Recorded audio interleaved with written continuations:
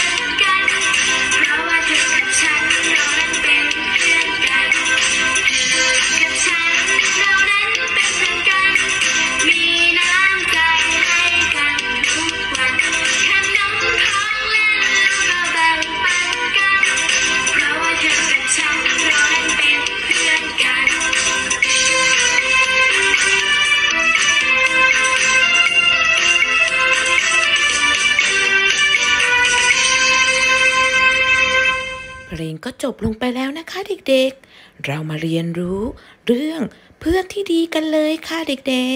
กๆ เพื่อนหญิงเพื่อนชาย มาดูกันเลยค่ะ เด็กๆบอกชื่อของเพื่อนได้ บอกชื่อ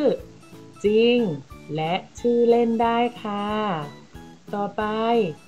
เด็กๆ บอกเพศของเพื่อนได้ ผู้ชายก็จะเป็น เพศชาย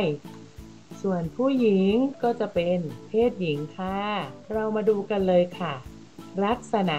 ของเพศหญิงและเพศชาย เด็กผู้ชายก็จะมีผมสั้น ใส่กางเกง ส่วนเด็กผู้หญิงก็จะมีผมยาว ใส่กระโปรงนั่นเองค่ะ ต่อไปนะคะ เราก็มาดูกันเลยค่ะว่า กิจกรรมที่ทำร่วมกับเพื่อน เรากับเพื่อนทำกิจกรรมอะไรบ้างนะคะ ภาพแรกเลย เด็กๆก็จะเล่นด้วยกัน เรียนหนังสือด้วยกัน และรับประทานอาหารด้วยกันค่ะ ต่อไปนะคะ เรามาดูการปฏิบัติตนกับเพื่อน เพื่อนที่ดีควรเป็นอย่างไร มาดูกันเลยค่ะ พื่อนต้องรู้จักแบ่งปัน แบ่งปันขนมให้กับเพื่อน